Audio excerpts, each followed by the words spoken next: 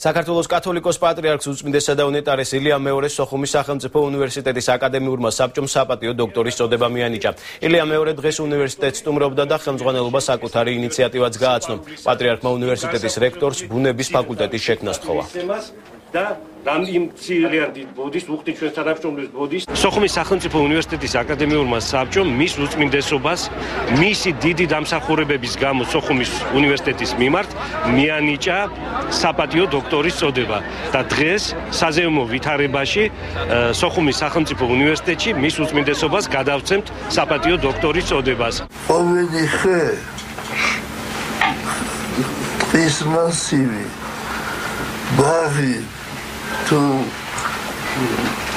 პარკი არის ფილტრები ჩვენი ეს არის ჟანგბადი ჩვენი. აი ამიტომ